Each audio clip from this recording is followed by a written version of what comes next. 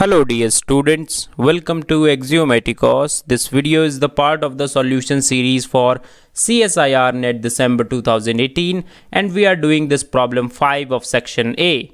So this problem is a problem of general aptitude. Let us have a look. Percentage wise distribution of all science students in a university is given in the pie, pie diagram. The bar chart shows the distribution of physics students in different sub areas where a student takes one and only one sub area. What percentage of the total science students is girls studying in the quantum mechanics? So this is your problem. In the problem, see you have this uh, this uh, pie chart representing the total science students so this pie chart represents total science students out of which 20% belongs to physics. Are, are you getting my point? So 20% student has taken physics and in this physics section you have these sub areas. So you have astrophysics, you have quantum mechanics, you have optics and you have last one is others.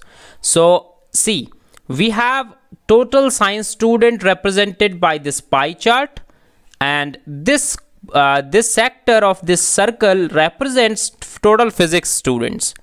Out of these total physics students, every physics student is going to take one sub area. So these sub areas are astrophysics, quantum mechanics, optics and others. So what we have to do is this, we have to find out percentage of the total science students, alright, is girls studying quantum mechanics. So we have to find out percentage of, tot of the total science students uh, to the girls studying quantum mechanics.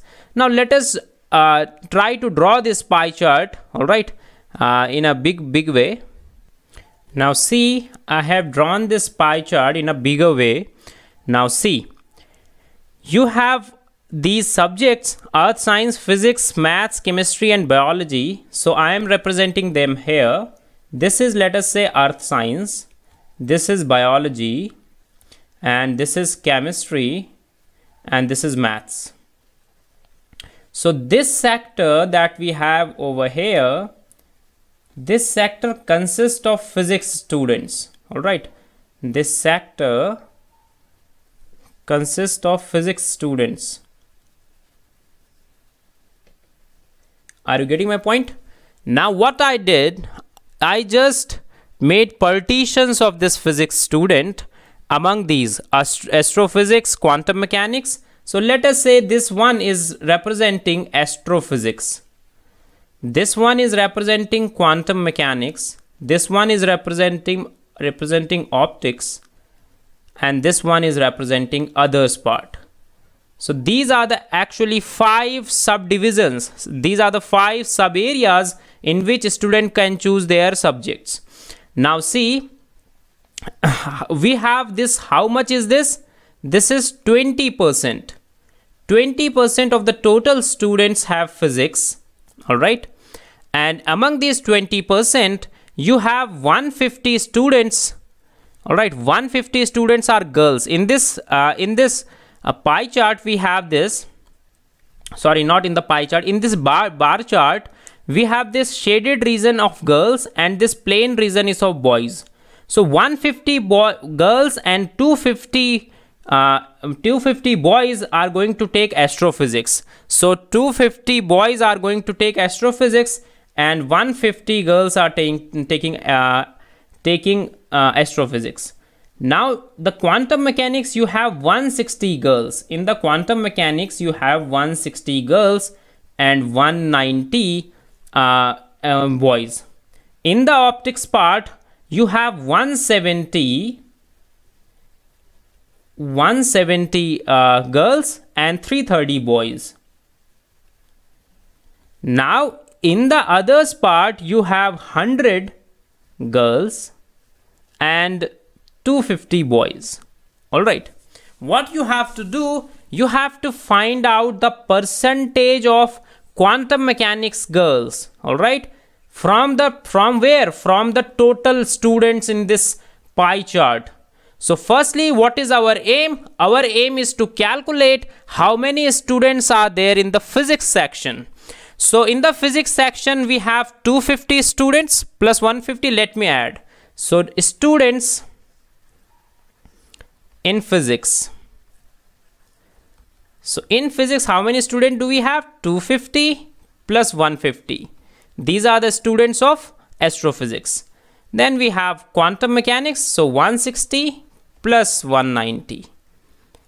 Then we have 170 plus 330 we are calculating how many students are in the physics section so these are these numbers of students are in the physics section so if you will add them up what you will get is 1600 all right.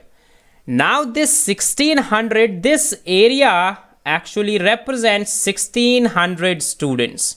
And it is 20% of the total area. So what should be the total students? Total science students. Science students. Total science students will be see 20% of the total science students is physics students it means that when you will multiply this thing with what uh, let me do it properly. All right so see i have all right so see i have written that 20% of the total science students is physics students.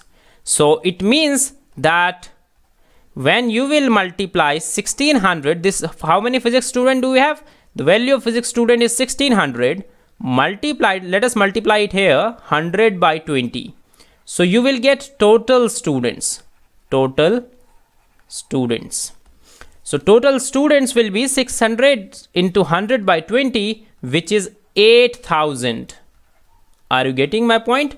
So we have calculated that 8000 students are the total science student. You have to find out the percentage of the girls taking quantum mechanics. We have to find out this percentage. All right. So uh, percentage of girls taking quantum mechanics will be all right from the from where you are finding out the percentage total science students so it will be 8000 all right 8000 the total one all right and how many girls do we have we have in the quantum mechanics we have 160 girls in 200 this is what we are doing all right so what you will get from here you will get 2% from here are you getting my point? So this thing is when you will calculate it, you will get 2% as your answer. So 2% of the girl in the quantum mechanics section lies here. Got it? So this is how we can actually solve this problem. This problem is nothing else. You just have to uh, understand this word that this is this word I am talking about this word that a student takes one and only one sub area and then you have to understand that you you are finding out percentage of girl student studying quantum mechanics from the total science students. So the only thing is that you need to understand this line and this line and then you are done with the question. All right so because you are finding out the uh, finding out the percentage of the girl student to the total science students you don't have see you don't have total number of science students given to you. But what is given to you is the total physics students so using total physics student you can find out total science students and using total science students you can find out the percentage of the girls taking quantum mechanics so this is what you have to do. All right. So if you have any doubt regarding this problem, you can always ask in the comment section. If you have any other doubt, you can join our WhatsApp and Telegram groups. Links are given in the description part of the video. All right. So thank you.